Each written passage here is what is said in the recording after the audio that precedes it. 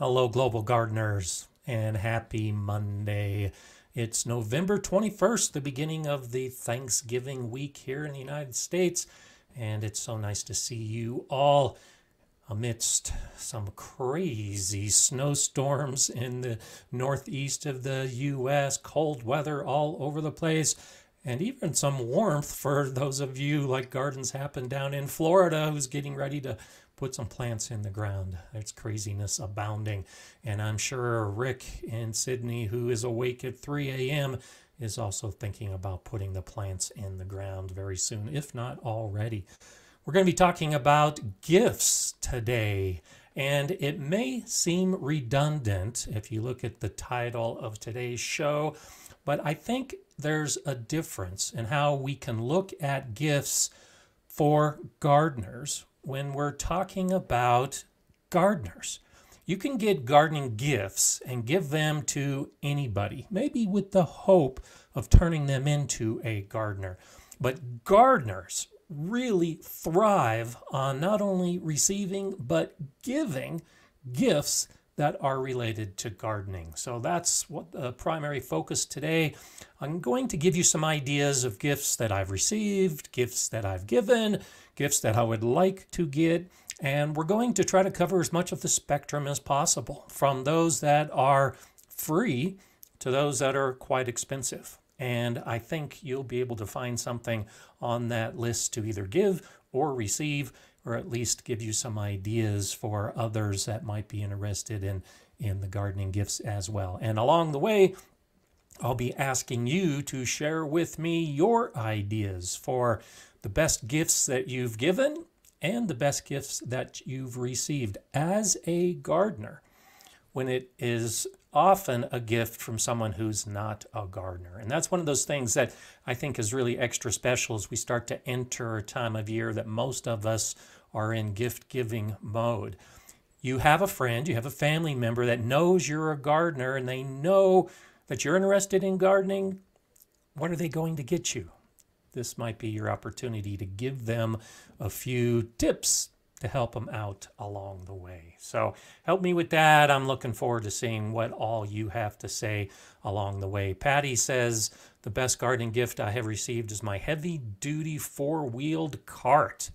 And uh, I, I don't have a heavy duty four wheeled cart in this garden, but I had three of them at the Galileo School Garden. I agree with you. Absolutely loved it. I had one that was rated to 900 pounds, and I could carry anything and everything in it. So, uh, thank you for sharing that, Patty, because I agree with you. I think that's one of those gifts that we often don't think about. And I would put that in the the the, the low to medium category because you can get a pretty nice four-wheeled heavy-duty cart for between 80 and 120 US dollars.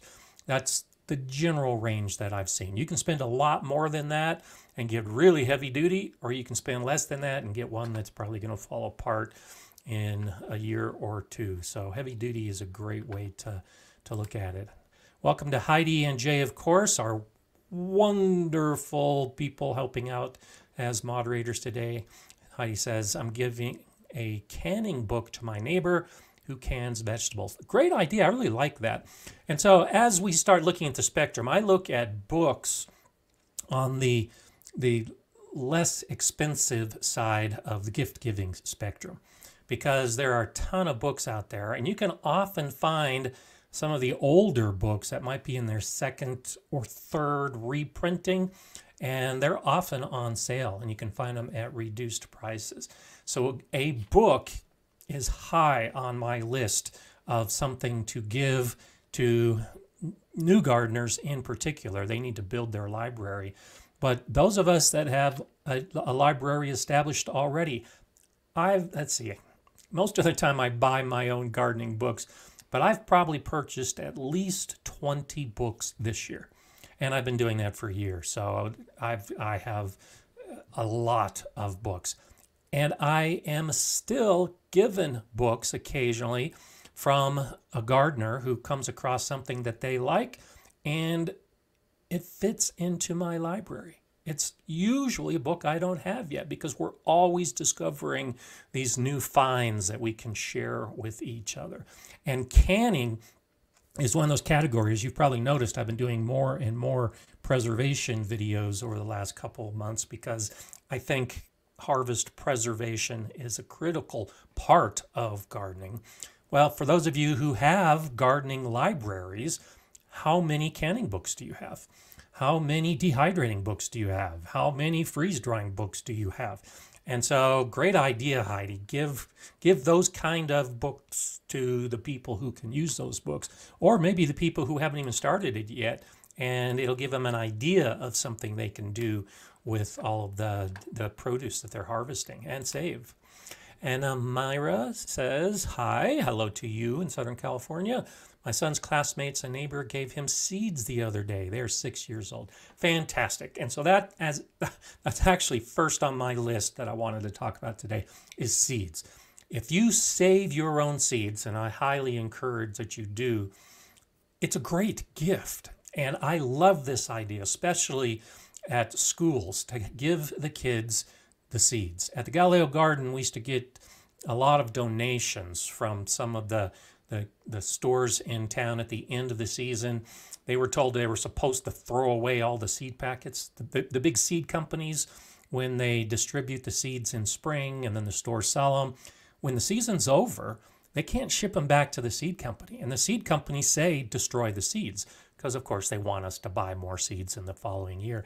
But I had relationships with some of these companies and I received thousands of packets of seeds that were donated for the school garden. And every year at this time of year, that's what I did. I gave seed packets to the kids at the school. And when I would go to other schools and visit for various talks I would do throughout the school district, I would take bags of seed packets and give those packets out to the kids. This is one of those things that you really have the potential to change a life. How many how many gifts can we give that cost nothing that seriously and literally can affect the future of the person we're giving that gift to and seeds fall into that category. So I'm so glad that your your classmates and neighbors are in that mindset of giving out seeds because especially at 6 years old uh, that's an ideal time for them to get interested and started and they can grow something and see the results of their labors and i think that's absolutely fantastic. So uh, good for you. Seeds seeds are a good thing. And and also on that that side of the spectrum as far as things you can give that don't cost anything often we don't think of ourselves as a gift that we can give to others. And so you've you've if you're a parent at some point or another because the schools will often do this your one of your children will give you a coupon book that they did at school and it's good for one coupon is doing the dishes and another coupon is feeding the dog and you know those are those are fun gifts and I've received some of those coupon books. Of course never use the coupons. I just put it into my memory box and I share those kind of things with my kids as they get older. But you could do the same thing as a gardener think about doing a coupon book for your family, your friends, your neighbors, where you offer some of your time to help them out in the garden or to take them to tea or coffee in the morning and just talk gardening. So that's one of those things that that we can be creative as gardeners and still share the gift of gardening. Bohemian Herbology says seeds are my favorite gift and my daughter gets me flower seeds for my birthday. That's a nice gift. I think of her year after year when I plant, harvest, and admire. And there you go. Yeah, the idea of seeds creating that initial memory, and then you put them in your garden, and and it lives that memory for years and years. So wonderful idea. Earthly spaces. I never know what to give myself, but today I stumbled upon a Cymbidium orchid. I think that's how you pronounce it, which is a really good looking plant. Good for you. That sounds like a nice gift. i am going to be babysitting some orchids here in a few weeks, and they really are beautiful, beautiful plants. Oh, Heidi's got a gorilla cart as well. So uh, nice thing. Yeah, Gorilla was the cart that I had at the Galileo Garden. So Gorilla carts, those heavy duty carts really are wonderful.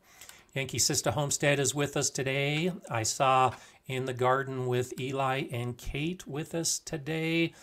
Uh, and so it's it's nice to have some uh, of the, the the crowd that doesn't get to join us. Riverdale Gardens is with us today as well.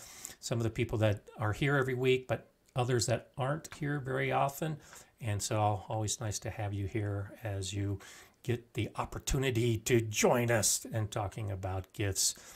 Green Leaf Gardening says, Grow Food for Free is the best book ever. Uh, you know, I don't think I have that book, so I'll add that to my list of things I'll be asking for. So I like that idea, grow food for free. So thank you for that suggestion. Uh, let's see, uh, Gardens Happen. I like that idea too. I think I need to invest in a lapel mic for my videos. Any recommendations? And so uh, I, I can't think of the name off the top of my head. Actually, in my last video, uh, someone asked me about the mic and I gave them the model and uh, all the information about my mic. So if, if you haven't seen that freeze drying video that I did, look in the comments and I mentioned the, the mic that I use. But I've, I've had about four or five different mics over the last few years and I like the one I have now, but um, I'm still trying to find the perfect one. This one's close, but uh, I forget the name of it off the top of my head and, the, and what the number is. Um, but I'm, I'm pretty sure it's in that video that I comment about it. And, and so that's a, that's a good idea. And, and this falls into that gardening gift for gardeners idea. If you are a gardener who is in the mode that you've started making videos or you're continuing to make videos for your YouTube channel, these are some of those things that fit with the gift giving idea because it's helping you as you grow your own channel. And so a gardening gift for gardeners doesn't necessarily have to be seed or plant or tool related. It can be something as simple as a, a microphone for your videos or a new camera. All depends on who it is that's, that's giving you the gift or if you're buying the gift for yourself.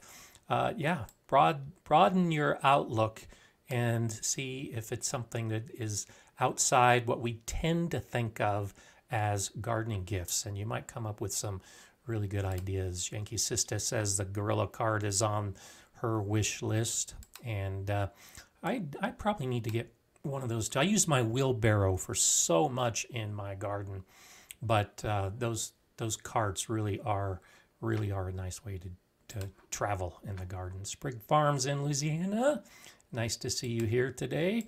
Christiane, I made a seed box for my niece. I made little seed bags from paper, painted the plants on it, and wrote a description for handling, and put it into a painted and decorated paper box. Oh, that's fantastic.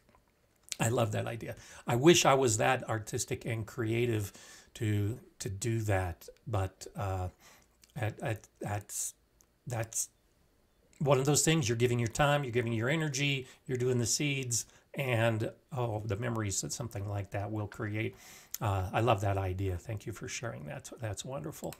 Uh, Brian earlier had mentioned the book Teaming with Microbes, and now Carla is also saying I've been sending out Teaming with Microbes to my gardening buddies. That's a great book. And so, in the description below for this live stream today, I've included a number of links. Most of them are affiliate links with, with companies that, that I've set up partnerships with. But one of them is my link to my favorite books. And Teaming with Microbes is definitely one of the top books. I agree with you with you both as far as giving it out as a gift. I've given that book as a gift for gardeners who are just trying to get started and understand soil and its benefit. Teaming with Microbes is a great idea. And I put books uh, as I said earlier, on the lower end of the spectrum, there are some books that are really quite expensive when it comes to gardening books. And so it's all relative as to the gardener and the library. But when you are selective and you choose those books that really are good ones, they're worth every penny. Absolutely worth every penny.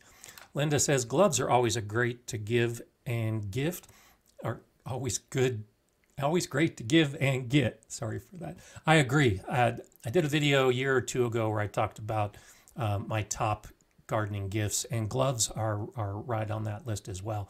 My daughter, I'm not putting any pressure on her, of course, but every year she gets me gloves. And every year I love getting those gloves. And by the time the next season comes along for gift giving, I've worn out the gloves. And so yes, I agree with you completely, Linda. They are a great gift because for those of us that are in the garden a lot and using our gloves a lot, it's nice to get more gloves on a regular basis. So I'm hoping I see gloves in my stocking this year. And, you know, other things like that too. I put hats in that category. I think wearing a hat in the garden is is something you should all be doing the sun protection is critical. And my hats last about two years generally before they get um, too stained and torn and worn down by the sun. And so it's crazy when, when you wear the same hat in the garden day after day, you may have noticed it gets worn down by the sun and by the weather over time. Well, imagine what would be happening to your skin if you didn't have that hat on in the first place. Your skin is getting that same damage. So, just like I wear gloves to protect my hands, I wear hats to protect my face and head. And that's a nice gift that you can give and, and really pay literal health benefits when you give those kind of gifts and hopefully receive those kind of gifts. Jay says, I'm gifting seeds as stocking stuffers for 72 food bank or for 72 food bank clients. That's fantastic, Jay. I'm glad to hear that. And those free end of season seed packets, there you go. Yeah, if you can find a good source for that, that's a great way to to pass on the gift. And Riverdale Gardens often give seeds as gifts.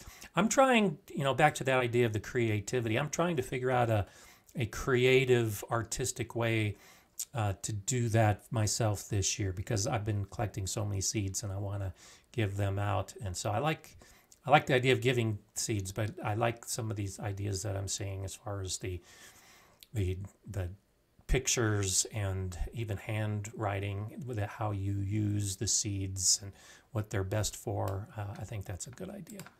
Rick says plants are often a good gift. As the plant grows, you think of that person that gave it to you even 30 plus years later.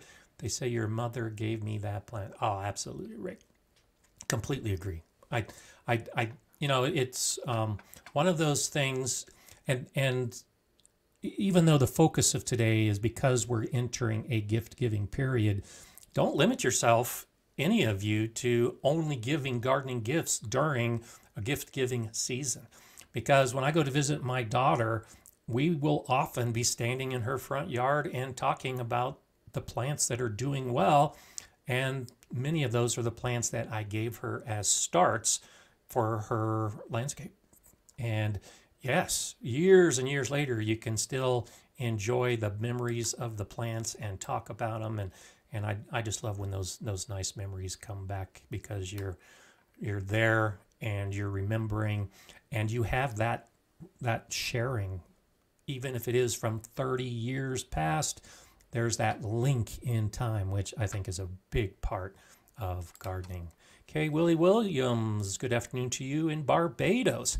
I want to say you have inspired me so much and I've learned a tremendous amount from you. Many thanks. I'm 24 and full of passion you help to exude. Oh, thank you so much for saying that. That's fantastic. I, I, I do this because of those kind of comments. I really do. I, this, this is one of the gifts I like to give is is getting the people all around the world who have an interest in gardening to develop into a passion for gardening and then start having the confidence to move forward. Because just like the idea that you you you have a plant and you share it and 30 years later you can have the memory of that initial planting i think information like this is the same thing so so I hope 30 years from now, you will share the story of how, oh, yeah, in the old days, we had this thing called YouTube, and there was this old guy, Gardener Scott, and he really got me into the to that mode, that mindset of gardening being important. I was only 24 at the time, but now I'm sharing the information just like he used to. That's a gift. And this is the kind of gift that keeps on giving. So thank you for sharing that comment because I hope I can also encourage you as you get more experience and as you get older that you're going to share your knowledge and share your experiences with all of those who, who come behind you. So uh, I love Barbados. I actually visited, man, it's been a long time ago. I did a, a, a cruise and we stopped in Barbados. That was probably 25 years ago, maybe, um, no, probably closer to, to 22 years ago. But um, anyway, love going through Barbados. I remember eating at one of the restaurants and having flying fish for lunch and uh, that's that's fantastic that you're watching, joining with us today. And uh, there's there's so many. I've had uh, some comments in the last week from gardeners in Kenya, from South Africa, of course, all the the places that that you all are from, uh, the Bahamas. I, I, I, I, I, you probably get tired me of me saying this, but I just think it's so fantastic that we all from around the world can share this passion for gardening and that we can share our interests with people who don't know where we live, don't know what we look like, but we can speak the gardening language and communicate. That's a wonderful way to do it. Carla says, I get my aunt gift cards from her local hardware or nursery so she can pick out what she wants or needs. I like that idea, Carla. I, I haven't done that. I've received those kinds of gift cards, but I like that idea. That's a good way to support some of your local businesses, especially your local gardening businesses. And all the nurseries I know of sell gift cards. So if you're looking for that gift for a gardener and you really don't know what they have in their their book library or what they have in their tool shed, yeah, a, uh, a gift card from the local nursery is a great idea. Thank you for sharing that one. That actually was not on my list things to, to share, and I love it. So thanks so much. Sonia says, I'd love a dibber, garden fork, and a stirrup hoe. Three great gifts. And the, the dibber I actually don't have, but on a, a gift video, or my favorite tools video, I should say. On my favorite tools video, the garden fork and the stirrup hoe are on my top 10 list. So if you have a gardener in your family and they don't have a garden fork or a stirrup hoe, you can tell them that it's in my top 10 and they should have one and that can be something you could wrap up. Uh, but the dibber is a nice idea. I, I make my own dibbers. And so a, a dibble stick or a dibber, it's, it's usually got measurements on it. And so when you put your seeds in the ground, you'll use the dibber to create the hole at the right depth to then drop the seed into. And there are some really nice, fancy copper dibbers out there that, that would be beautiful to add to your toolbox. And so, uh, or, or to have someone give you so you can add to your toolbox. So yeah, that's a, that's a nice list, Sonia. I like that idea. And definitely those are kind of things that, that would be good to, to use in the garden. Riverdale Gardens, I received a machete from my brother many years ago. I never knew I needed it. It's one of my favorite tools ever since and a great gift idea. Good for you. Yeah, machetes, I have a machete and I haven't used it much. My Hori Hori knife is on my list of top 10 and, and it achieves a lot of the same things as far as cutting and chopping and getting out and using it in the garden. And I'm sure a number of you have Hori Hori knives and love them as well. That's one of those things that uh, it should be in just about every gardener's toolbox.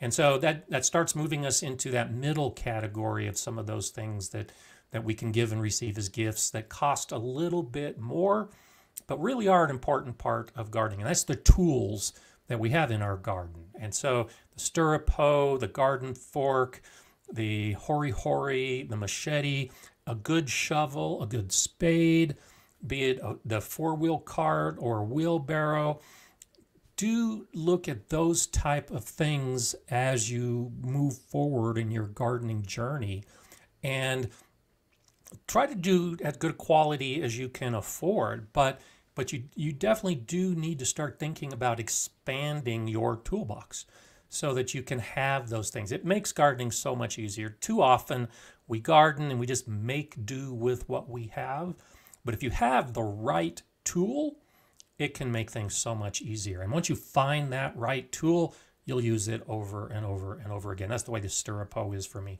it's my favorite weeding tool and I've I've used weeding my stirrup hoes for years and years. The one I have now is I think I've had it for 10 years.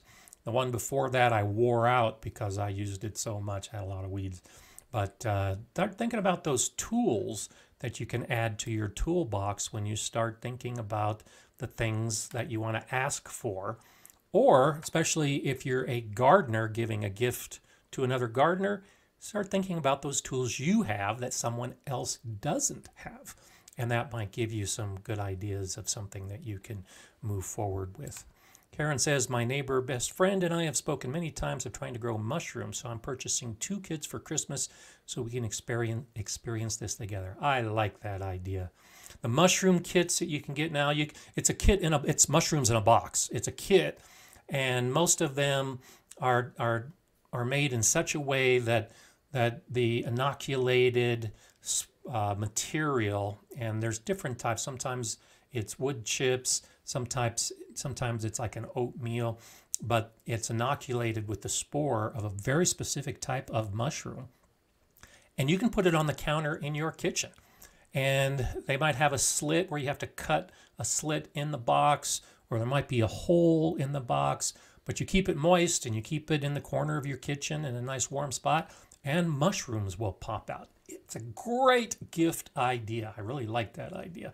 And so, especially when you get two kits and share it with your best friend and then compare notes. Oh, I love that idea, Karen. That that's that's a good one. I like that. I'm going to probably repeat that in years ahead. I really like that as something that can not only improve your friendship, but also help improve and and strengthen that gardening bond that it looks like you guys are starting to develop. Fantastic. Grandpa Gordy, morning coffee in my favorite chair, topped off with Gardener Scott. Helps with all that snow outside. I like that idea, Grandpa Gordy. So glad you could be enjoying your coffee. My snow is mostly melted. I only got about three inches the other day, but it's been cold. And uh, that's why I have my morning tea and I've been doing a lot of morning tea and cold mornings recently. So good for you. And I'm glad we can spend this time together. Uh, it, it, it's one of those things, you know, it's morning for me. For some of you, like Rick, it's really early morning. For some others, like Jean Pierre, it's evening, but we can still have that cup of tea or cup of coffee and share some time together. I think that's really a good idea. So Shandy's Garden says Laura from Garden Answer, one of the huge channels. She always has lots of good stuff. Just did a video on gardening gifts that are wrapped up inside terracotta pots. I haven't seen that video. I thought that was so cute. Twine it up, decorated the top. That's a great idea. And so uh, I I I've done things like that with like giving tools, garden tools in a garden toolbox. But if you are looking to give seeds or fertilizer packages, you know, these kind of things that we use in the garden and they need to be replenished, and you're looking for a container to give them in, that's a great idea. Use a terracotta pot as the box, and then they open it up and you have all the, the seeds and maybe a little bag of soil or some worm castings, and then maybe you've got some of that, that fertilizer that, that goes with that particular plant, or maybe it could be used someplace else in the garden. Yeah, all of that in the terracotta pot. Uh, I like that idea. I'll have to look up that video.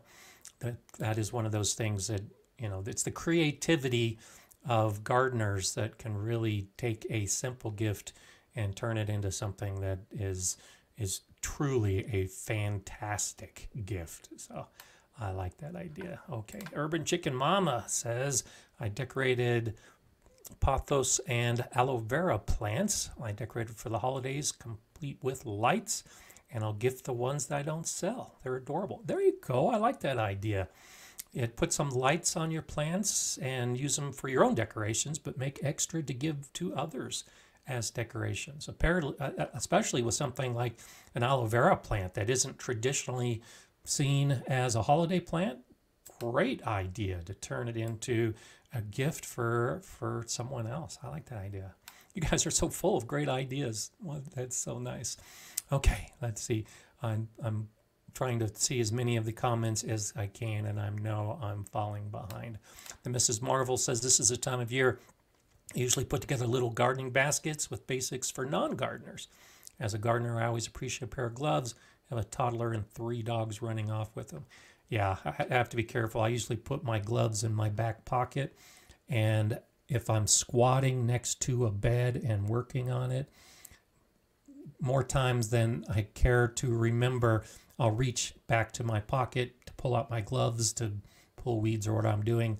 And one or both of the gloves are gone. And I turn around and there's Mala enjoying my gloves. And she thinks it's playtime when I come to get my gloves. So I definitely know how that is. But I like the idea of gardening baskets for non gardeners because you can get just a seed packet and a little pot and a wrap and especially if you put some soil in it you get something like that and and it's enough to stimulate the the possibilities for that non gardener, especially if you're willing to give your time and energy to help them grow it. Suddenly, non gardeners become gardeners. And I think this is a great time of year to actually foster some of that young and new gardener development because it is one of those things that we can move forward with. And Shandy's Garden says community is the best gift we can give each other. Completely agree. Giving us a platform Knowledge is a fabulous love language that shows you care about someone else's life experience. There you go. That's a great way to great way to say it. Bud says on the theme of seeds, give a gardener some unusual seeds or something that you've recently grown for the first time. Wonderful idea. Oh, you guys are so creative. I love this. The the unique stuff. You know, I talk often about experimenting in your garden and trying those new things a lot of gardeners, especially I think newer gardeners, are still trying to figure out what works and what doesn't work. And we tend to repeat a lot of what works. And it really is stepping outside your comfort zone to do that experimentation. So, like Bud says, if you can give a gift of something that is unusual, but especially if it's something that you've tried and it worked well in your garden, Oh, great idea. I really like that. Her Highness says a quality watering can. You know, that's one of those most understated and underappreciated tools I think that we gardeners have.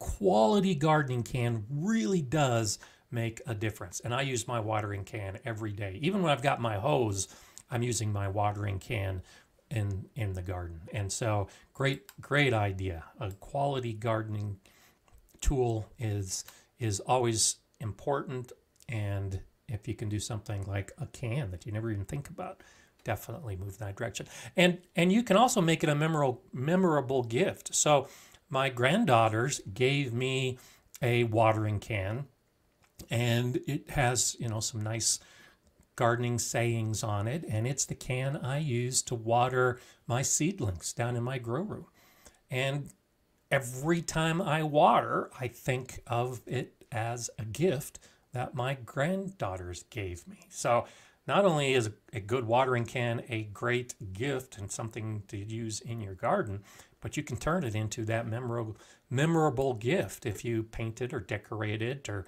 get one of those that already has all the sayings that are um, printed on it. Wonderful, wonderful idea. So, okay, I'm going to try to catch up as I'm scrolling down. Uh, Gardens Happen says the Hori Hori they bought was around $22. And uh, yeah, I think that's about, about what I paid, maybe slightly less than that. Uh, but a lot of these tools that we're talking about don't have to cost a lot. even for the quality stuff. It really you can really find some good stuff for for very affordable prices. Hi Pat, thank you for that contribution. Wrapped up my seasonal gig and now I'm so glad to be back live. It's good to have you back. There's just something about the live chat. I appreciate it. I know there's a lot of you that are probably watching this on replay. And yes, there is just something about the live. It is better to, than than watching it on replay because we can have that interface back and forth. And so hopefully, if you aren't a regular uh, viewer on Mondays, and, or maybe you just get here occasionally, uh, I hope you do get the opportunity to join us live because I feel the energy, and I know a lot of you do too, when we can be here talking live on these Mondays. Okay, Kate Paul has a question, needs some help. I put my garlic in the ground two weeks after the last year's frost, got to warming, and it's coming up. What do I do? Cover or pot it and bring it in? Don't you don't need to bring it in. Garlic is very hardy and durable. If you see some of my garlic videos, the, the one that was the full tutorial shows garlic growing in snow. So garlic can handle really cold conditions. Put, in, put on some extra mulch, especially once it starts growing and the leaves start emerging early. Go ahead and cover it with some crushed leaves mixed with straw or some grass clippings and just make sure you're adding extra insulation for those plants during a critical time where the, the new growth is still tender. And if you get some really cold, freezing conditions, it can damage those new leaves. So that's why you want to put some some mulch to help cover that young growth. And then just don't worry about it. You really don't need to do a whole lot extra with garlic because it will survive in frozen soil. It just goes dormant. The problem is if it's actively growing, that there's the potential for damage. But as the soil begins to freeze, assuming your winters get that cold like they do for me, the plant's going to go dormant. And some of that green may remain through the winter. Most of it will probably die back, but extra mulch is usually, and when I say extra, I mean like maybe three to four inches of mulch to cover those young plants just so they're not damaged uh, severely until the plant goes into dormancy. So uh, nothing too bad. A lot of people are dealing with that problem right now because there's been a lot of really warm temperatures later than normal, even with all the, the snow and cold that many of us have had in this last week. Uh, for many of us, it's actually later than it normally would be. And so it's been throwing off some of those plants, like the garlic that would normally not be putting up all the green growth. So, Doris M., nice to see you. Haven't been here in a while been moving to new property and now restarting a garden from scratch. Good for you. That's one of those things that, you know, there's a, a few of us on YouTube that have been making videos over the course of the last couple years where we've moved to a new property and we show the videos as we are starting our garden from scratch. And so my channel, uh, the videos of the last three years, and there are, there are some other channels out there that can definitely help you out when you're in that setting up a new garden mode. I'm not worried about you. You'll do fine. But I think that's an exciting opportunity because you really can move forward knowing what you've already learned. And, and each time I've moved to a new house and started a new garden, it was, of course, better than the garden before. And so I don't necessarily look forward to moving and starting a new garden, but I do recognize that by doing that, it gives you a nice opportunity to do it better this time.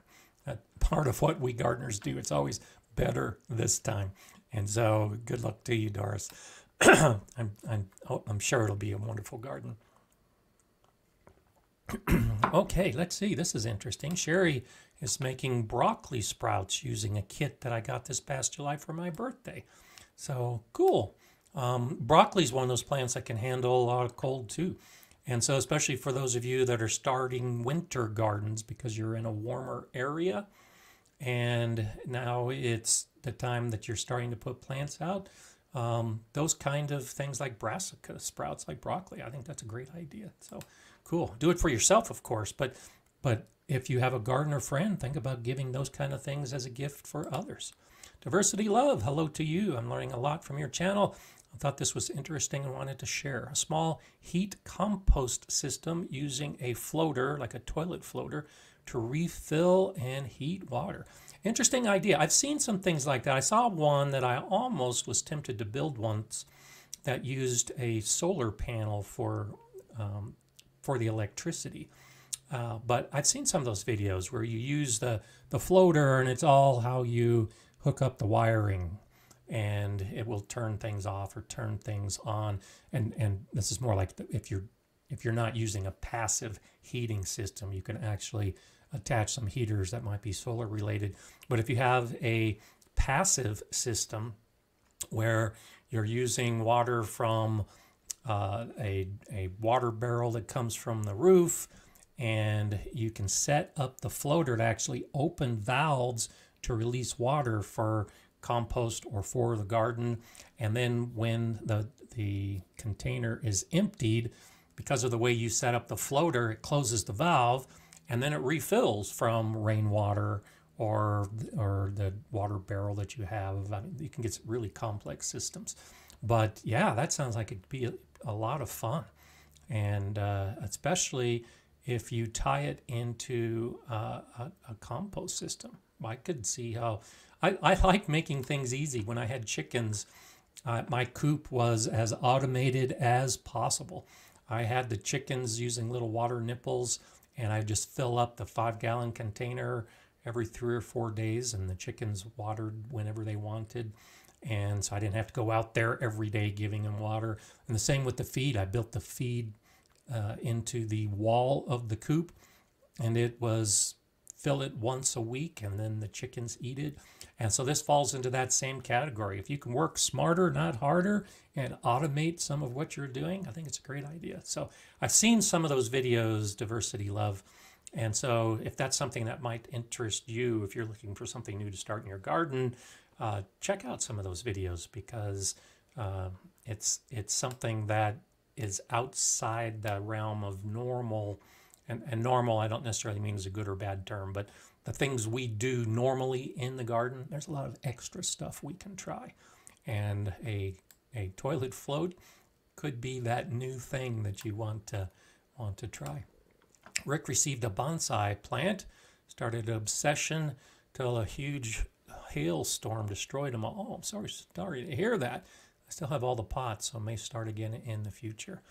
Uh, I yeah, bonsai. I only have one bonsai, and it was a gift.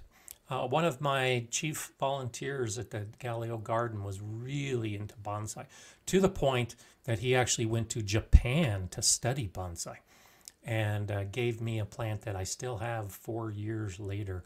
And I would be crushed if it was destroyed in a storm, but I've got it indoors hopefully I don't knock it over and break it. So yeah, get back into it, Rick. That's one of those things that uh, I I would really like to do more with bonsai because the little bit I've done, I, I really have enjoyed.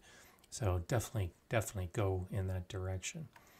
So, Mrs. Marvel, if I could ask for something, I'd ask to take a peek in an experienced gardener's journal slash notes. Knowledge is powerful and helpful. So uh, I like that idea. And what I would suggest is do it. Try to track down some of those experienced gardeners.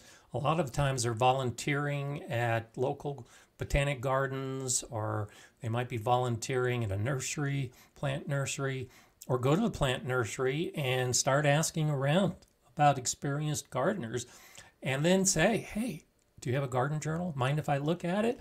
I'll buy you a cup of coffee. I bet you you could get some takers on that. And it's, and so turning it back around as a gift.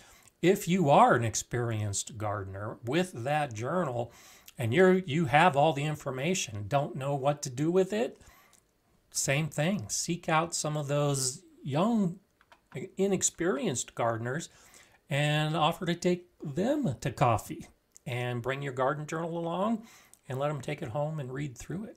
I, I, I think that's a potential on both ends of the, the table as far as the information that can be given and received. That's, that's a nice gift to ask for.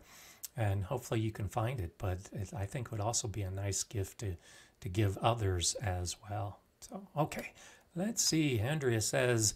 I'm just finishing digging up my dahlia tubers, cleaning pots and tools, and reclaiming potting soil from annuals from uh, annuals and herbs.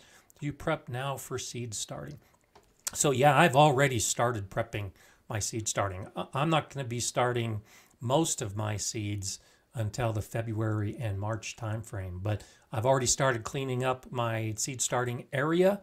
I've already readjusted the lights. I've already started getting my soil ready to go. And I've already started getting my seed packets in order as to which ones I'm going to start doing. So I, I think you can't do that too soon. And the better prepared you are, the, the better it'll be when that time actually comes. So uh, you're you're at the right time of year for cleaning your pots and digging up your your dahlias, but uh, also think and so so when we talk about seeds as gifts, particularly in the winter for many of us, many of these seeds can be sown during the winter. And so not only am I prepping for my seed starting for my indoors seeds, but I'm also going through the seed packets to figure out which ones I'm going to go outside over the course of the next month and start sowing, start spreading, start throwing around. Some of those those seed pots that are still on plants I haven't cleaned up yet, I'm going to grab those seed pods and spread them around my landscape as well. So if you have some of those, like the cosmos, for instance, I've, I've shown the cosmos in my videos and you know a few months ago. All the cosmos that I grew in my landscape this year were from seeds from the cosmos that I had a whole year before. And so saving something like that, those cosmos seeds, and then putting them in a seed packet as a gift, and then as we've talked, telling what to do with them.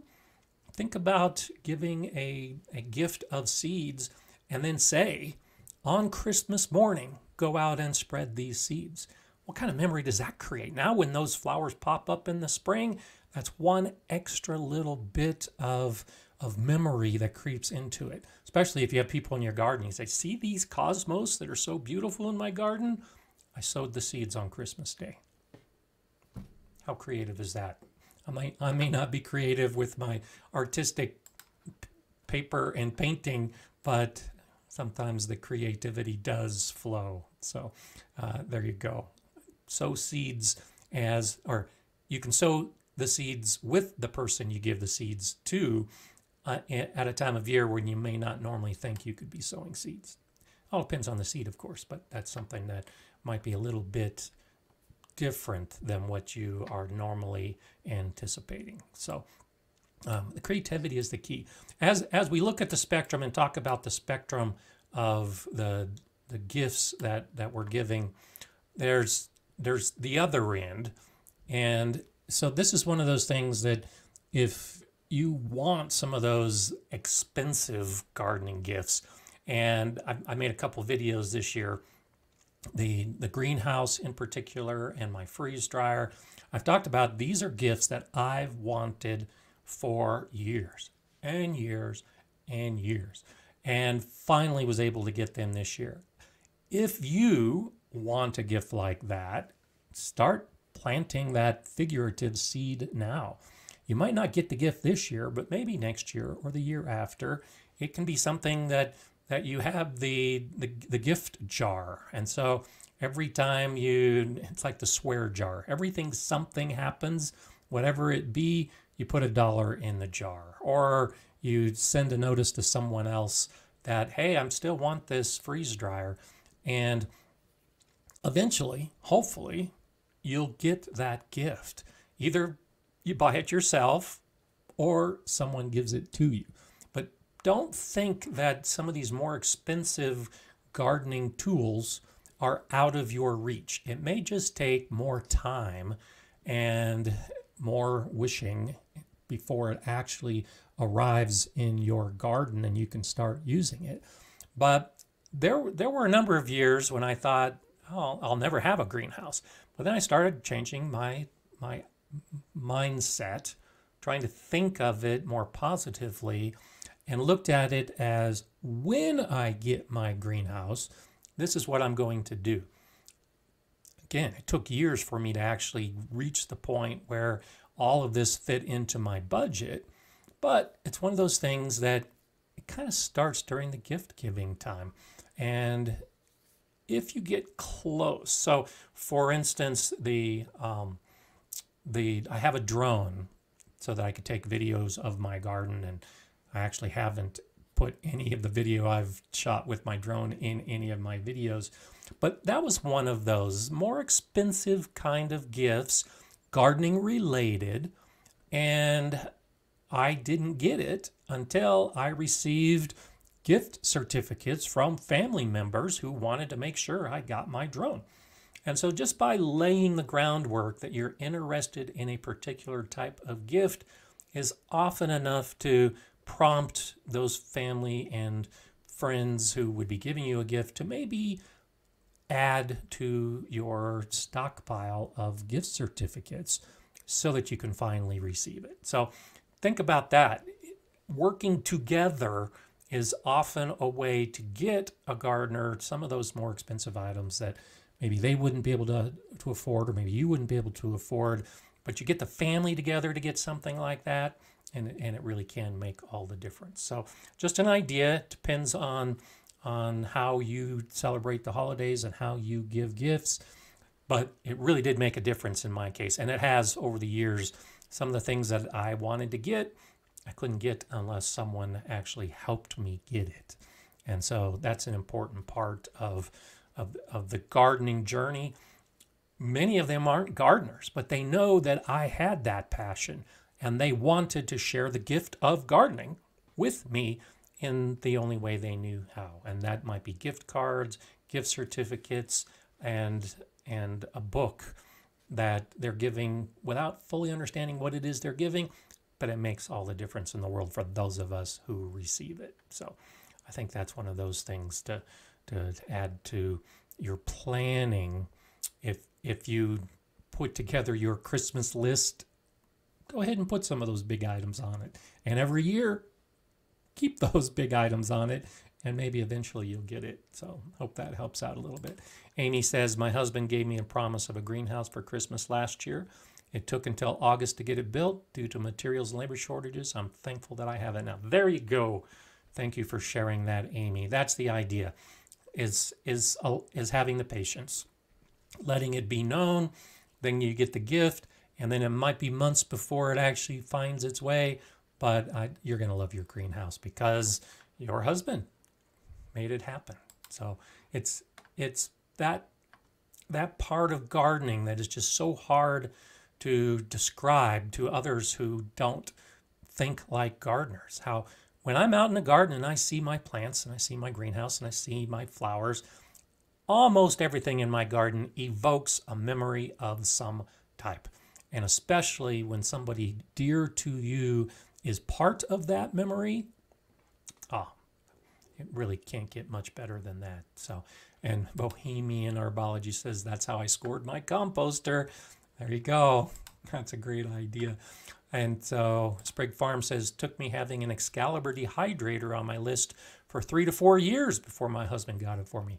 There you go. See, I'm not the only one who who takes the long view when it comes to some of these things. Excalibur is a really nice dehydrator. So this starts moving us into that category of really nice things to have as a gardener and they're a little more expensive. I have an Excalibur dehydrator it wasn't my first dehydrator. I started with one of the, the inexpensive dehydrators and worked my way up over a period of years to an Excalibur. But it's a great brand and I've used it for years and years and years. And yes, it's more expensive, but it's high quality and it, and it, it actually will pay for itself depending on how much you use it. Uh, in also in the description below, the those links I said I was going to to have. They're, they're already there now. This is a time of year when you can start finding some really good sales on a lot of these things we're talking about. And so, for instance, GreenStalk. I've got three GreenStalks now. I may add a fourth one this year. We'll see. Today, GreenStalk has a sale that has just started as a Black Friday sale. And there are a lot of these type of sales that are starting to pop up. Some of them for some of the products that I like and use are in the descriptions below. And all you have to do is start looking around and you may start discovering some sales over the course of the next couple weeks for some of these these tools and the supplies that you're looking for. The Harvest Right freeze dryer, which which is about the only freeze dryer on the market, is extremely high quality, but of course that puts us on the expensive end. They've got a sale through the end of the month where you can save $500 on a freeze dryer. I've never seen a sale like that, but it's happening right now. The seed companies, a lot of the seed companies are right now having sales tied to the Black Friday uh, events that'll be coming up in just a few days. So, so start looking for those kind of savings, and you might be able to come across something for a gift you were planning to give, and you were thinking about getting it in three or four weeks. If you get it now, you might be able to save 10 or 15 or 20%. So throw that in into your planning as you're as you're looking at gifts or if it's one of those those gifts that cost a little bit more if you find that deal and you know that your husband or your wife or your family is likely to get you that gift let them know that there's a sale going on and that they can save 10 15 20% whatever it happens to be so so don't be afraid to to buy things and save money with the, the Black Friday time of year. And, and I do that for myself. I've bought myself garden tools on, at Black Friday sales six months before I'm planning on using the tool, but it's because I can save some money. So, okay, let's see. Let's get back to it. Yeah, Shandy says Amazon already has the Black Friday deals now.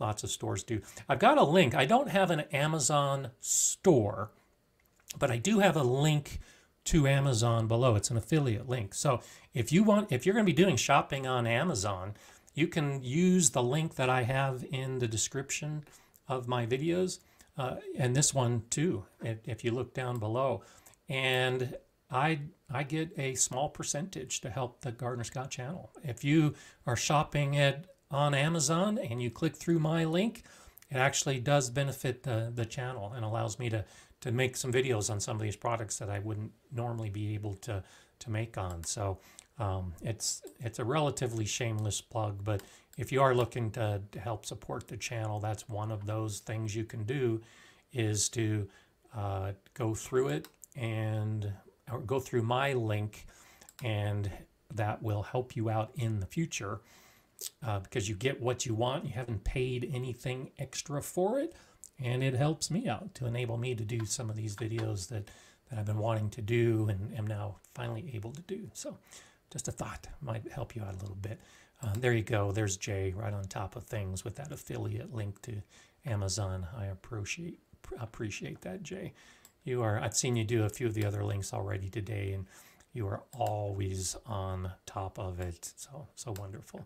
Britt says, "I'd love to have a dehydrator in the future." not experienced enough yet, but I'd love to be able to preserve herbs. And so herbs are one of the easiest things to, to start your preservation journey with. And I've got a video uh, that I did last year on drying herbs. You can cut your herbs and, and most herbs you can air dry and you've started dehydrating. Once you start doing that, it's an easy step to then get a dehydrator. And and again, like I said, I got the the inexpensive dehydrator for starting off and began drying things as just experimentation and finding out what worked and what didn't work. I've made a lot of jerky over the years, but I've also dehydrated mushrooms and tomatoes and a lot of things from the garden. So so don't be afraid. Go ahead and get it.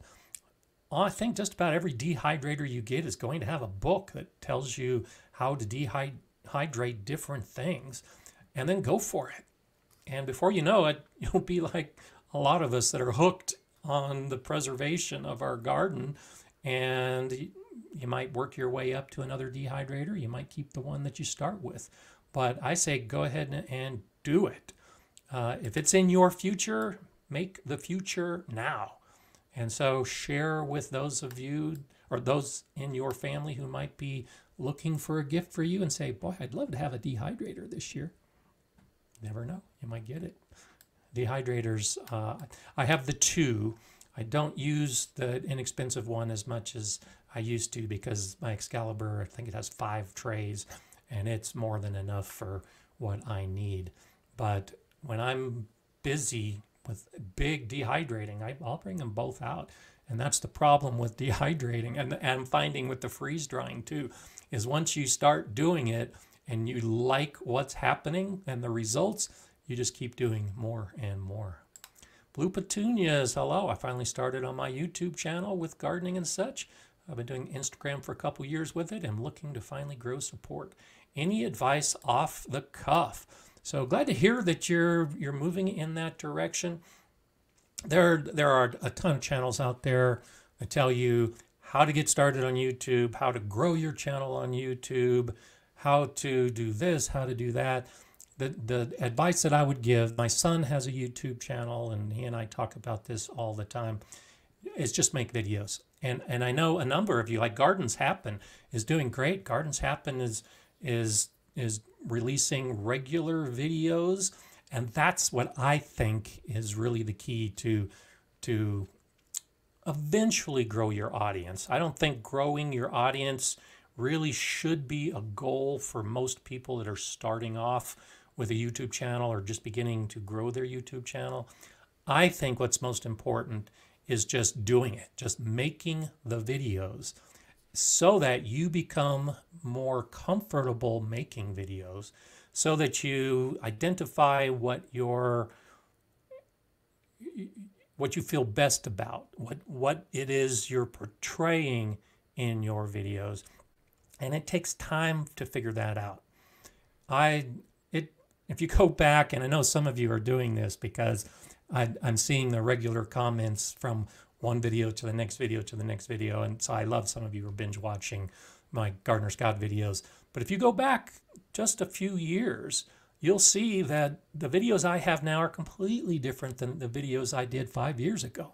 Because I've learned over the course of five years how I want to convey my information and how I want to demonstrate it and how I want my videos to look. And my videos are different than everyone else's videos, and hopefully that's part of what you'll find out as you make more and more videos is you've got to be who you are and your video should be unique to you. Don't copy anybody else. Let everybody else be who they want to be. You, you're, you're never going to be James Prigioni running to the screen, pointing at the camera with all the energy that he has. Probably because you don't live in New Jersey and you don't look like James Prigioni. In fact, just be who you are in the way you want to be. And that's the best way to start. A good friend of mine started a YouTube channel a couple years ago, and he was concerned about his own image and how he was going to portray himself. And so he created a person that wasn't him, a name that wasn't him, an energy level that wasn't him, and he only made three or four videos before he got burned out because it was just too much work. Just be yourself, do what you want to do as often as you can do it once a week, twice a week, once a month. But if you can make videos with regularity, you'll become more comfortable making those videos. And then it'll lead to more success with you and whatever it is you're hoping to get from your your channel. So I hope that helps Blue Petunias. You just you just got to make videos. And you know there's the argument of quantity versus quality. Well i think with quantity comes quality. So the more videos you make the better they will get. And the better your videos get the more likely people will be to watch them and the more people that watch the more your channel grows the more motivated you get to make more videos and then you get sucked into the YouTube creator world and all you want to do is just make more videos because you love doing it. And that's kind of the mode I'm in right now. And it was five years ago, just about this will this next year, I think it'll be five years that I dedicated myself every week. I'm going to make a video. And some of those older videos I don't think are that great. The information is good. I just don't think I look that good or I don't talk as well as I'd like to. And it was about video number 75 for me where it started clicking and I got comfortable and I really became Gardener Scott the way I like Gardener Scott to be. So just get out there and do it. And that's one of those things I think will, will eventually pay off if, if you do have some consistency. Bohemian Herbology Natural Solutions. Thank you so much for that super chat. I do appreciate it. It's it's always welcome and so glad to see you here on such a regular basis. Brian says I made him really miss fresh grilled zucchini. My zucchinis have been gone for a while now. And so, you know, this ties in with food preservation. I did the video where I freeze dried zucchini and then fixed it. And I grilled some of my freeze dried zucchini. Learned a couple lessons along the way.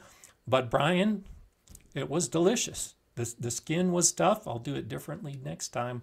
But that's the nice thing about preserving your harvests. And that's I love my freeze dryer because I'm enjoying some of those things now that I can't tell you the last time I enjoyed zucchini from my garden in November. And you saw it on that video. So uh, put that on your your planning for next year, Brian, to maybe figure a way that you are comfortable preserving that the zucchini in particular. The freeze drying works pretty well. Uh, the dehydrating will also work. Freezing also works.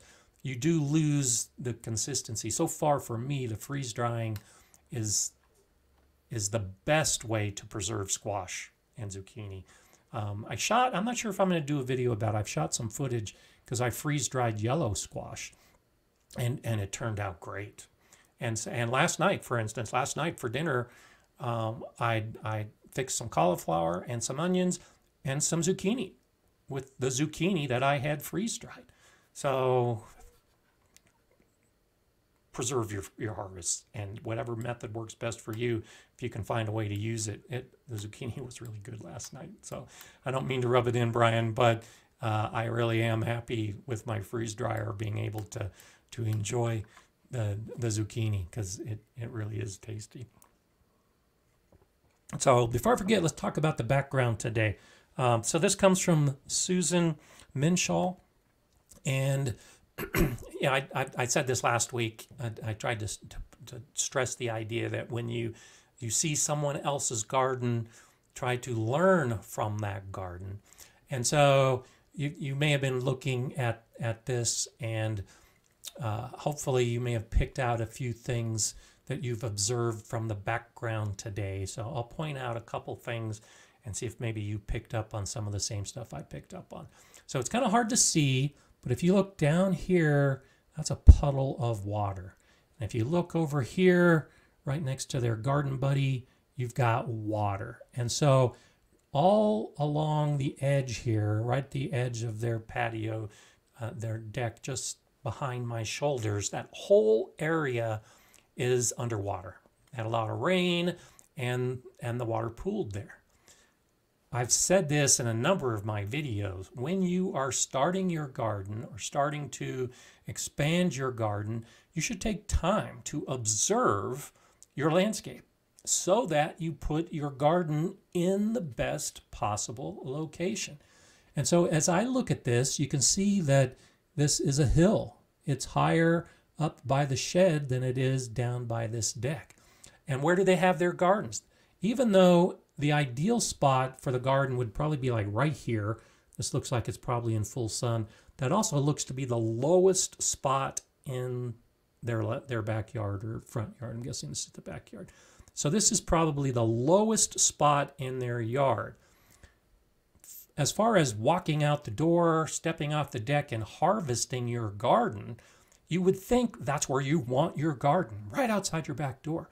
But when you live with a hill and a lot of water drainage, that's not where you want to put your garden. So instead, you put your garden farther up the hill so you don't have that that problem or you put it at the top of the hill so that you don't have that issue with the water pooling. And then you do things like raised beds. And they don't have to be really high raised beds, just high enough to improve the drainage so that the soil isn't saturated. So I, I like the layout that, that they have in this landscape. It's, it's simple, but it is quite effective. You plant in the high, let the water drain down, and wherever the water pools, you don't plant. And so down in this lower section, of course, it looks like they've got those are those look like they could be hostas, but they've got their hostas in a little planter. This is probably a shaded area. Hostas like the shade. So my guess is this is a shaded area and it gets a lot of the water drainage. And so you don't have the flower beds or the plants growing right next to the deck. They're farther up on the hill. That's this is a this is a wonderful example of why I say take time when you move into a new house and you're starting a new garden take time to figure out what happens in your landscape because you might move into you know a place like this with all these beautiful trees and you say I want a garden and this area where the lawn is is probably in full sun and so you want to get started you put your beds and you think I'm going to put my beds just outside my back door, right on the edge of the deck. If you do that during the dry season, when you might have lots of sun, everything's great. If you didn't wait a year and go through a wet season to see where the drainage is and what the effect is on your landscape, you may have made a mistake by putting your garden into the wrong location. So, thank you, Susan, for sharing this. I'm not sure if that's the lesson that you wanted me to get from it, but that's the lesson I see that you spent some time figuring out where the garden was going to go so that it was in the best location. And then, of course, you've got your chair so you can sit. I, I always love seeing the benches and the chairs of gardeners who can just sit and observe and enjoy their garden space. And so it definitely looks like you're doing that. So thank you, Susan, for sharing this. Of course, there's hoops and then there's the fabric to protect the hoops and there's a table with pots we showed this last week where especially if you're in a wet area you elevate your pots off the ground so that they have the good drainage so uh, some of the similar things that we talked to uh, or we talked about a week ago but also some new stuff that i wanted to share with you today so have uh, just a couple more in the queue i'm looking for your garden pictures, especially as we move into fall and winter. Or Rick, I'd love to see what you're doing, Rick, as you're starting to move into your spring. And we can throw those in the background and talk about it. And all of us can learn from what you're doing in your garden. I think it's always good. So, Gardener Scott at gardenerscott.com is where you can send your pictures. And as long as you give me permission to use it, I'll I'll throw it in the background if I can if I can get it to fit. Yankee Sister, always nice to see you here. So thankful for this community. Please, everyone, have a safe and memorable Thanksgiving holiday this weekend. Thank you so much for those sentiments, and I agree wholeheartedly. This is a fantastic community, and it's people like you, Yankee Sister, that helps make it such. So always nice to have you here. And Riverdale Gardens, I, I will point out, they, they get to visit us about once every six weeks. So it's always nice to have those of you that aren't here very often that can be. So, okay. So I'm trying to catch up again. I see some other stuff that I have missed out on.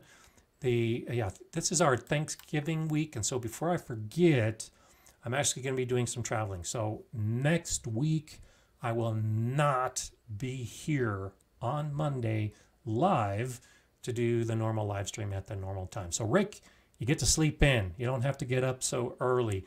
Get some good sleep. I will be back the following Monday per normal. That'll be December 5th.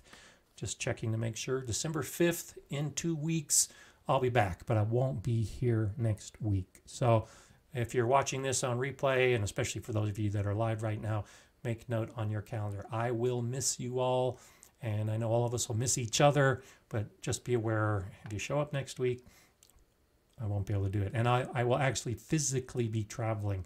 The last time I, I did a trip, we talked about, you know, maybe trying to do this on the road, but I'm actually going to be literally on the road during this time uh, next week. So we'll hopefully it'll be uh, like Jay says, a reminder no live stream on November 28th, next Monday, but we will be back on the 5th. So um, it's one of those things that it's, I'd, I'd love to do this every day. I definitely want to do this every week.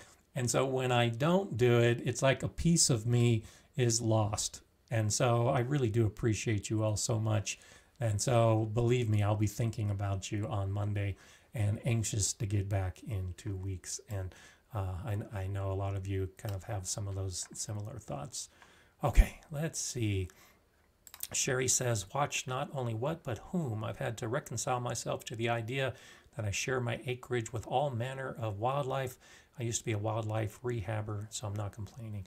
Uh, good point, and I think you're probably talking about the uh, observations of the garden because that's definitely on my list when I when I make videos about planning a garden. It's not just the water drainage and the weather patterns and the sun. That's that's an important aspect. What the animals are doing in your landscape.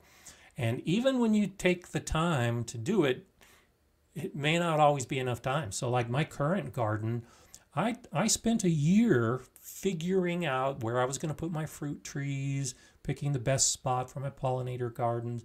I put my vegetable garden in relatively quickly because I, I identified the most important aspects to that.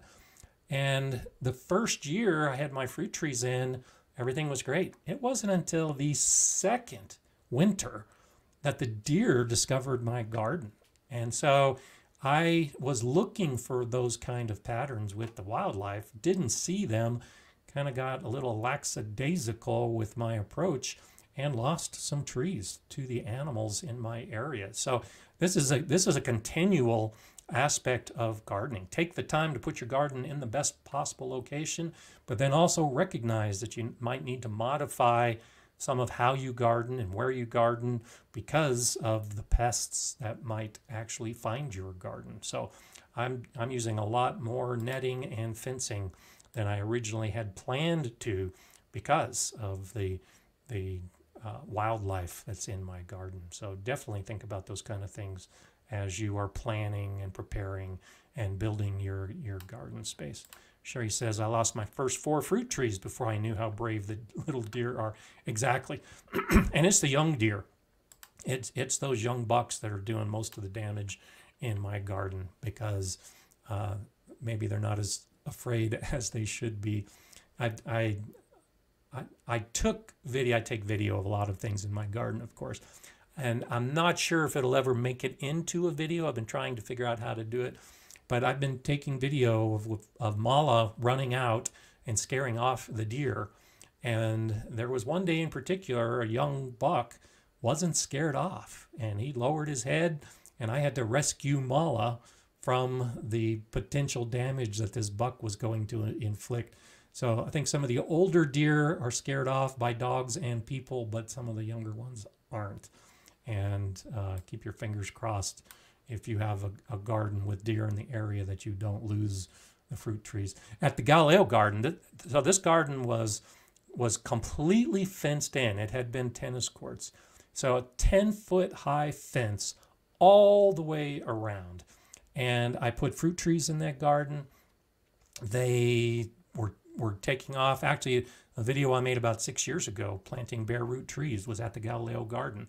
And I was planting fruit trees and they they started doing great. I retired and moved on to retirement and my home garden and went back to visit about a year I think after I had retired from the Galileo garden and the fruit trees were devastated because a homeless person had discovered the greenhouse had cut the fence chain link fence had cut the fence so they could get into the greenhouse to sleep in a warm environment. Well, you're probably wondering what this has to do with deer. That chain link fence that was cut had not been repaired before the deer discovered that there was an opening into the garden. And all the fruit trees were eaten down to nubs by the deer that worked their way through a gap in a chain link fence that someone had cut. So, you know, terrible end to those fruit trees, but deer really can devastate your plants. So be careful about those kind of things. And, you know, speaking from experience, sometimes you don't learn about it until it's too late, which really makes it sad. Andrea Cadera, thank you so much for that super chat. Have a happy Thanksgiving and safe travels. Gardener Scott, thank you. I appreciate that sentiment.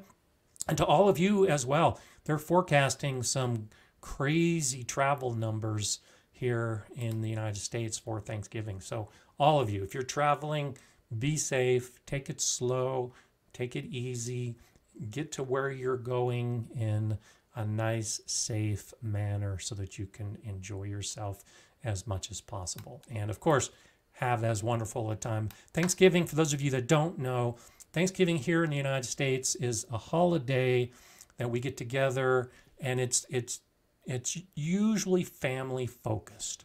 And so the idea is that we're traveling to be with family or family is coming to be with us and we have a big dinner and we get stuffed and most of us watch a football game on TV and we play games and we tell stories and we often will share a gift, but especially as often the tradition in my household, we share stories from all the past Thanksgivings and other times as as they pop up in conversation. So so this is a nice time of year and it's the beginning of the the the holiday gift buying. So usually it's this time of year right after Thanksgiving when all of these Black Friday sales hit and people start getting into buying mode for Christmas. And so that's that's why uh, we kind of have this theme for today because this is the Thanksgiving week. And if you're traveling, be safe, and if you're meeting with family, have a wonderful time. And and even if you're if you're not in a big family situation, I hope you do have the opportunity to to in, enjoy yourself in these times and and whether you're alone or maybe just with a small group, know that if you're part of the Gardener Scott community, you're part of a family. We are all here for all of us, and this really is a big family. So if you're looking for things to be thankful for, that's one of the things many of us do on Thanksgiving is say what we're thankful for. Be thankful that you're part of this wonderful gardening community and that that we're all on this journey together. So that kind of touches with some of the philosophy stuff I was going to talk about here in a couple minutes, but uh, it it all ties in with Thanksgiving. And for as many of us as possible, on a day to day basis, live the gardening mindset, and your days will usually be better. So, Dusty Flats did have deer get caught in hog wire on neighbor's fence. Not good. Make sure the fences are tight. Oh, I'm sorry to hear that. Yeah, hog wire um, is is a really sturdy steel. I bet it caused some damage. I had put up some bird netting uh, at my last house to try to deter. There was an area that I saw that the deer were walking through a pathway, and so I had my house, I had the downspout off the gutters, and I had a tree. And so I, I ran some wire and some bird netting between the tree and the downspout thinking that the deer would be walking through, come across this barrier, and go someplace else. What ended up happening, I'm guessing, is that at night when I heard the ruckus, a deer had been running through that path, got caught in the wire and the bird netting, tore it all apart, actually tore my downspout off the, the wall of my house and they disappeared with a lot of the wire and everything that I had set up. So hopefully the animal was okay, but that, you, you do raise a good point. You have to be careful when you put some of those barriers in place to keep some of those those pests away. okay. Uh, Garden says if you put two rows of short fence and use it as a chicken run, you get two in one benefit. It tricks the deer and helps control little pests too. Oh, I like that idea. Yeah, some of those, you know, there's little tricks for deer. Fences don't need to be tall. They just need to confuse the deer. And so if you've got two parallel fences of different heights, that's often enough to to keep the deer from jumping over them, even if they're a low fence. And so using it as a as a double duty chicken run, I like that. I like that idea. That's that's a way to kill two birds. So okay, let's see. Sherry says I found that mylar ribbon and pieces of Irish Spring soap discourage deer and pretty much everything else. it's Irish Spring soap, you know, it's the strong aroma of the soap um, that can make a difference. They can get used to it in time. Uh, my, my wife made a lot of different types of soap and was always looking for experimenting. And I actually had her mix me up some soap that was similar to Irish Spring, and I used that in at, as a deterrent for for deer at, at my last house. But of course, with the good comes the bad. I, I didn't discover till later, and I was wondering about it, and actually found some research that showed it. the the soap deters the deer, but as the soap, especially the homemade soap like I was using, but as the soap is exposed to the weather and the rain, and then it drips down onto the ground, well, that that fat or that oil actually can attract voles. So I've got voles in my area. And so in some of those beds that I was looking to deter the deer, I was acting, actually attracting voles by using the, the soap. So it, it works, but you do have to be careful and be aware of all those other pests you might have. Like I, I talked about the mice in my tomato garden this year. You, you're trying to keep one animal out, and in the process, you're making it enticing for another animal that could be a pest. So just do be careful of that. So, so Chandy saying, I've been meaning to ask forever, why do people hang aluminum pie tins in gardens? What's it deterring? It's, it's, a, it's intended to deter birds. And so I think we talked about this last week, maybe the week before, where the mylar strips, you know, the shininess that's waving. I talked about having used old CDs that I hung in my garden. So the idea is that the flash of the reflective sun as the mylar strips or the CDs or the, the aluminum pie tins, as they're blowing in the breeze and as they're reflecting the light, the idea is that they're they're going to to keep the birds away because the birds are going to see these things that are blowing around and spinning in the garden. In practice, they really don't work that much. They might work the first couple days, but that's a big reason why people have the the pie tins in their garden is to keep the crows off of the the corn. And and it's one of those things. I, I have family that comes from the Midwest of the United States and I remember my aunt and my grandmother doing that with the pie tins. And it, it was purely as a as a bird deterrent and mostly ineffective. So if, if you want to look like a Midwest farmer, put some pie tins in your garden. If you want to look a little more modern, put some mylar strips. But in the long run, I think the birds are going to just shuck it off and come in and enjoy your garden anyway. So, so as as we talk about the the Thanksgiving time and some of what I was I was just mentioning, the gift giving idea is that we share a portion of ourselves with those we care about. And so, especially if you're of a certain age like I am, you've seen the commercialization of Christmas over the years.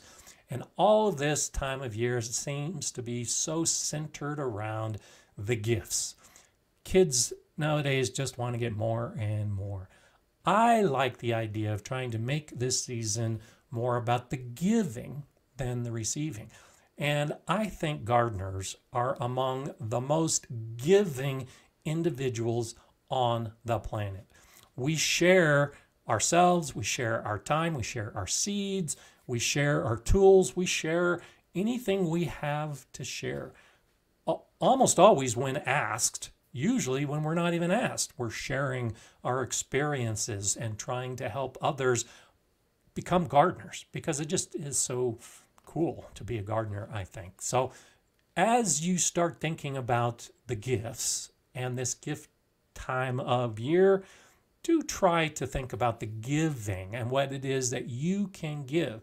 I tried to give you some ideas. I've seen some great ideas roll across the, the comments today. They don't need to cost anything. Or, especially if it's that big gift that costs a lot, when you receive it, it's a big deal. It's a life changing kind of moment. All along the spectrum.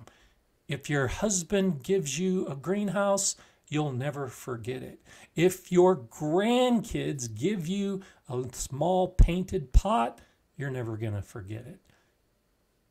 Be that kind of gardener, the one who gives a gift because you want to give the gift. But if you can also add that little bit of creativity, maybe a little bit of artistic flair, maybe thinking outside the box a little bit, if you can do something to give that gift and make it more memorable, you're living on.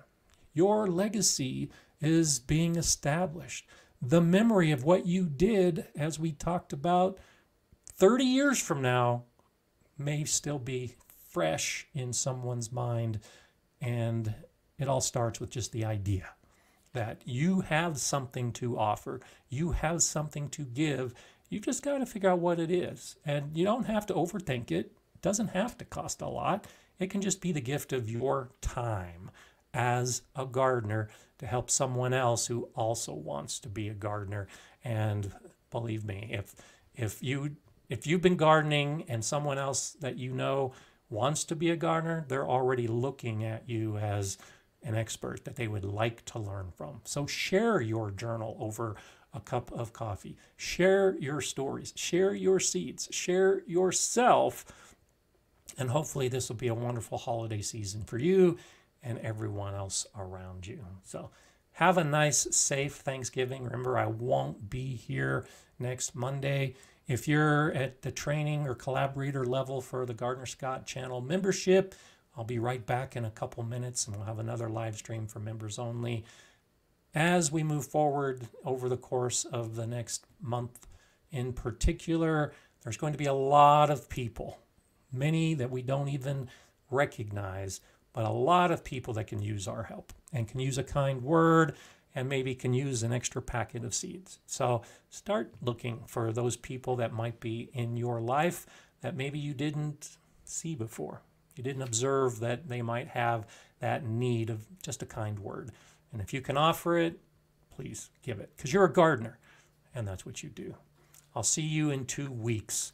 Hope you're safe, hope you're warm, and keep that gardener spirit alive. I'm Gardener Scott. Enjoy gardening.